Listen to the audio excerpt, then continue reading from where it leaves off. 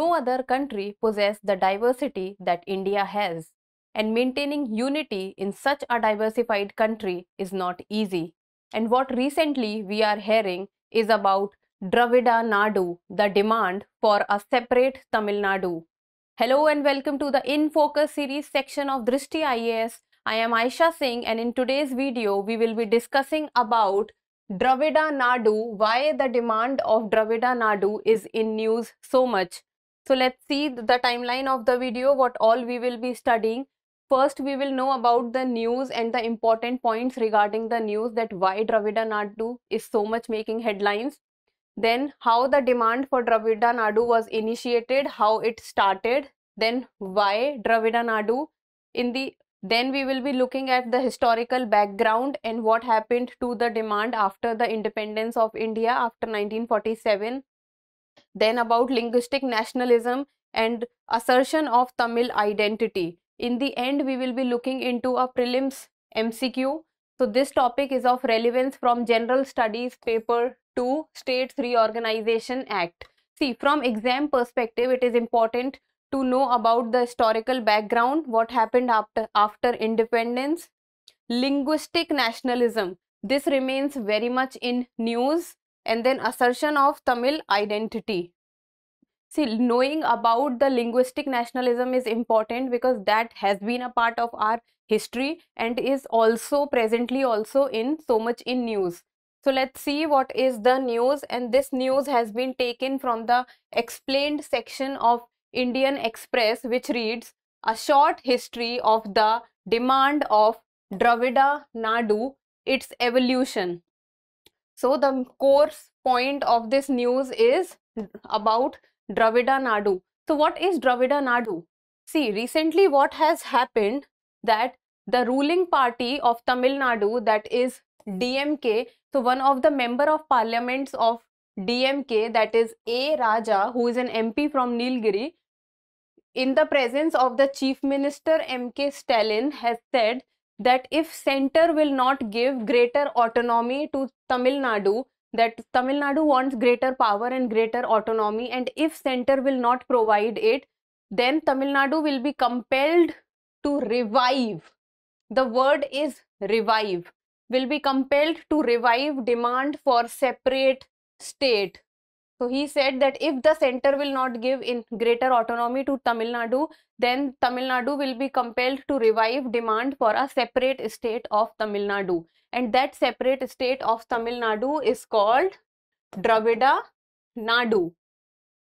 Then A. Raja has written on Twitter, these are the exact words, that Chief Minister is walking on Anna's way. So who is Anna? The first chief minister of Tamil Nadu, that is Annadurai, don't push us to Periyar's way. So who is Periyar? We all know about him. We have studied in history. We'll just be looking into it um, in detail. Don't compel us to ask for our own country. Give us state autonomy. Until then, we will not rest. So he, he has written that they want Tamil Nadu want greater autonomy and with Except this, he has also written that national integrity and democracy are important for a nation. So let's see that how demand for Dravida Nadu was initiated, how it all got started.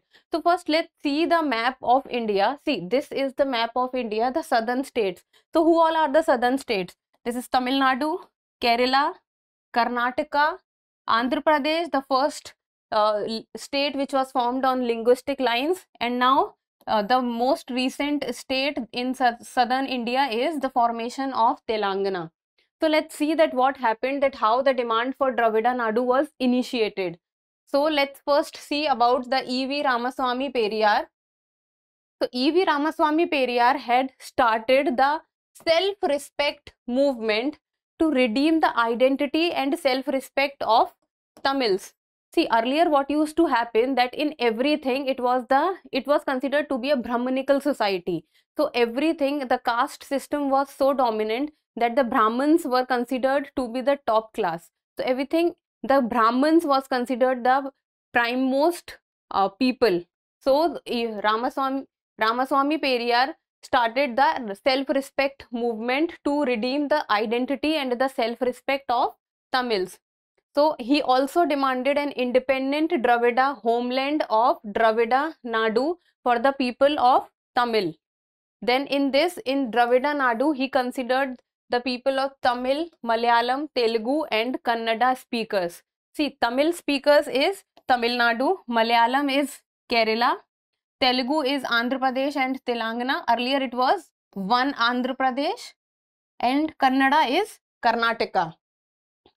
Then he also started a political party which was named Dravida Kazhagam that is DK. Now let's see about the who was C.N. Annadurai and the role played by him. Then he was the last chief minister of Madras state and the first chief minister of Tamil Nadu. So first let us look at about let us see about the Madras state. See this is India's map at the time of 1947 that British India during partition. So see this was the Madras state. Then uh, in 1950 Republic of India then also this was the Madras state. This full area was Madras state. Then in 1956 India after linguistic reorganization. So after 1956 the demarcation of the boundaries took place and there were visible boundaries that came to India and the different different states were formed. So this became Tamil Nadu, this is Kerala, this is Karnataka and then Andhra Pradesh was one at the time of linguistic reorganization of states that is 1956. So these were the southern states. So if you will see that between 1956 and 1950 there is difference. See, these are different states while these are, there is difference between that map uh, of 1956 and of 1950. So here the area of Tamil Nadu and parts of Kerala, Karnataka and Andhra Pradesh, all this comprised the Madras state at that point of time at around 1940s, 50s. So let's see. Okay, so, uh, C.N. Annadurai was the last chief minister of Madras and the first chief minister of Tamil Nadu. And he also formed his own party and that was Dravida Munnetra Kazhagam. That was DMK. And who was the, who's the present party ruling in uh, Tamil Nadu is? Then he formed DMK after breaking with Periyar. So Periyar and Annadurai was first in starting were working together and after they had their ideological differences they parted ways. Then he was mainly working for greater autonomy for Tamil Nadu and be better cooperation among the southern states.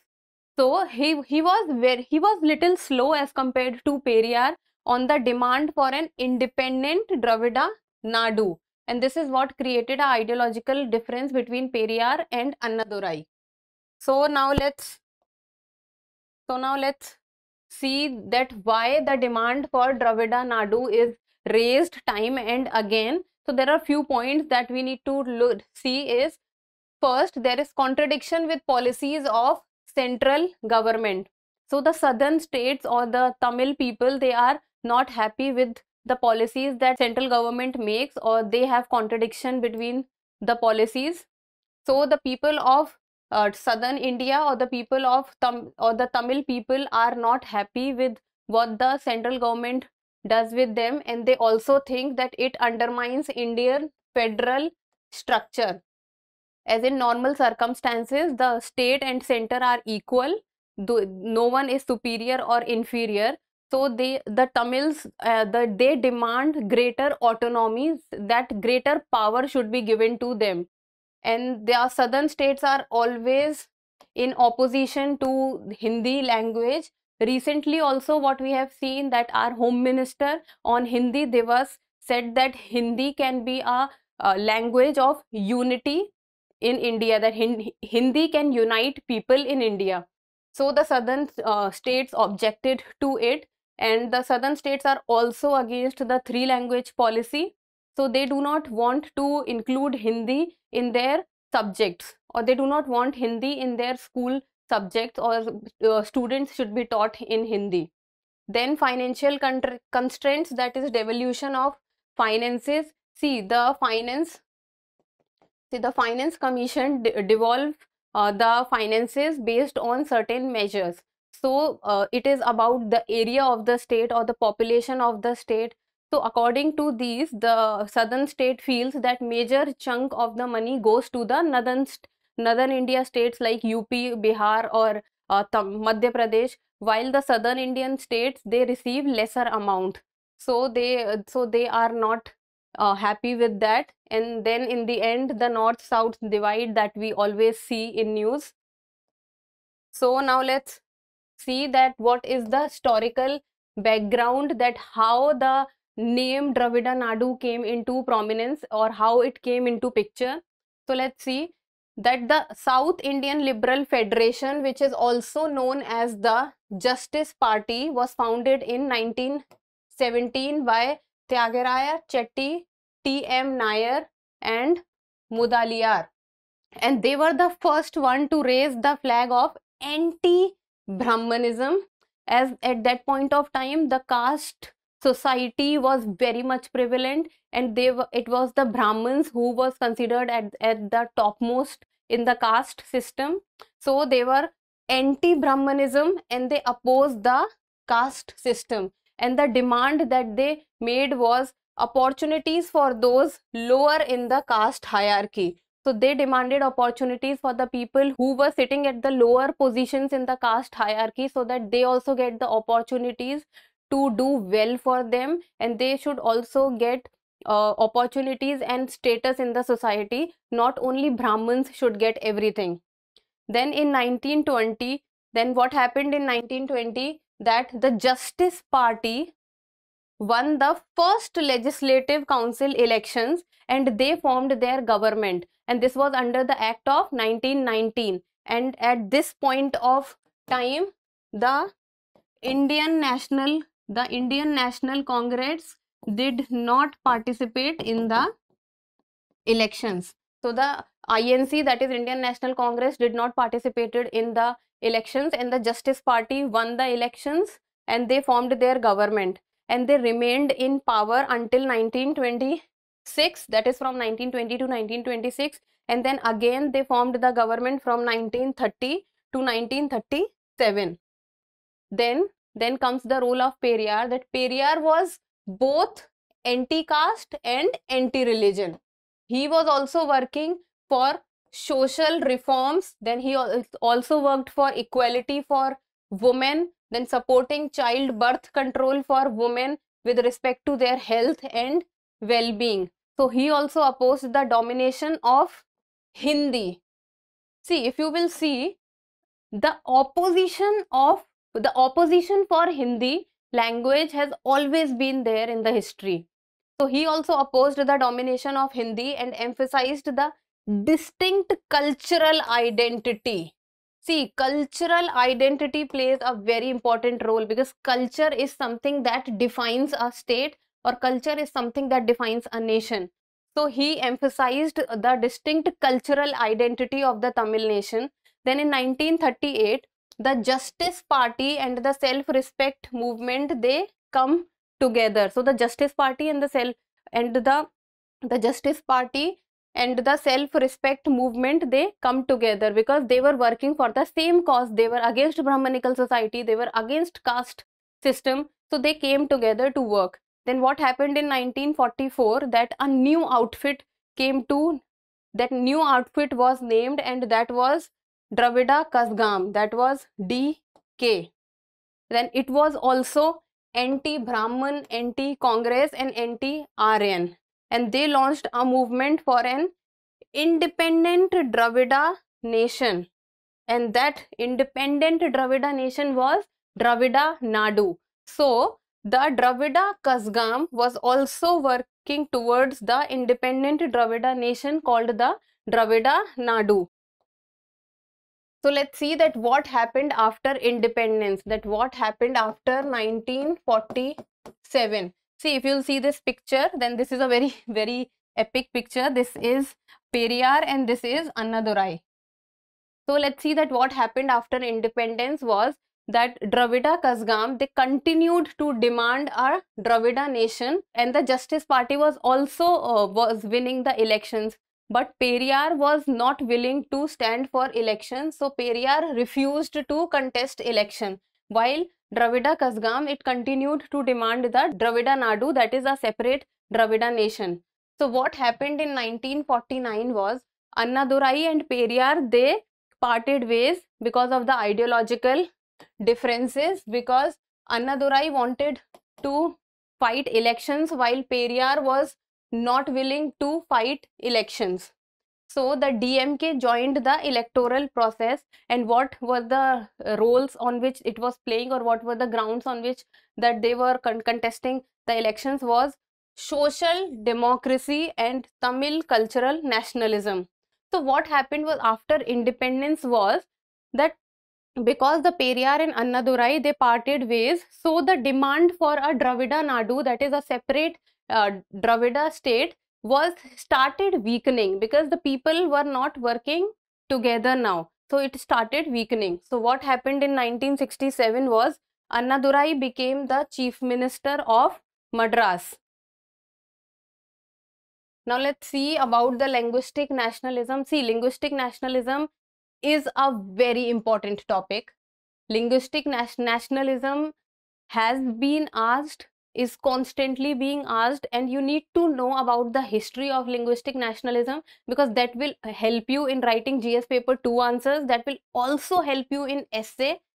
So it is important. So listen carefully. See, Linguistic Provinces Commission, also known as the SK Dhar Commission, when it was set up, what happened was they were they were against what they said was they were not in favor of a linguistic basis of reorganization of states as they thought that this will lead to the further division of the country see what happened in 1952 one of the most landmark event from the perspective of linguistic nationalism happened that the freedom fighter Potti Sriramulu died after a 56 day hunger strike. So what happened? There was so much of political pressure and the people were so angry that the then prime minister was so much pressurized to take a step from from the perspective of setting up of different states from linguistic from linguistic uh, nationalism so what happened that in 1953, the States Reorganization Commission was constituted. The States Reorganization Commission was constituted and in 1953, the state of Andhra Pradesh came into being. So the first state which was formed on the linguistic lines was Andhra Pradesh. After the States Reorganization Commission was constituted, and the States Reorganization Commission talked in favor of a linguistic division of states. So what happened was the States Reorganization Act and then it redrew it redrew the boundaries of state along linguistic lines. See this is very very important point. So according to the States, uh, States Reorganization Act, it redrew the boundaries of states along linguistic lines and it created the state of Tamil Nadu, Andhra Pradesh, Mysore and Kerala in southern India. Andhra Pradesh being the first one formed in 1953. See this map. See, this is Andhra Pradesh, Tamil Nadu, this was Kerala, Mysore so all they they the boundaries became prominent. It redrew the boundaries on linguistic lines. And the states of tamil nadu andhra pradesh mysore and kerala came into being. And the major demand of the linguistic movement uh, was fulfilled. And the demand for the dravida nadu was weakened. So the idea of an independent dravida nadu was weakened even further because the demand of the linguistic states was fulfilled So the Dravida Nadu demand was, it became very, very weak. So now let's see that assertion of Tamil identity, that why Tamil identity is so important for them. So it is because of the preservation of Tamil culture and language. See, preservation of culture, language and script is very important for the for their own people. Then uh, the the Tamil identity has always been opposed to the three language formula that is Hindi language. They've always been opposed to include Hindi. Then protest the introduction of Hindi in education. They always protest against Hindi. Then the demand for Dravida Nadu was gradually replaced by a demand for greater autonomy in education and cultural practices. So this is how the whole story revolves around the Dravida Nadu or how the topic of Dravida Nadu came into prominence. So in the end, let's look at a prelims MCQ that is which among the following statement is or are correct regarding the Hindi language.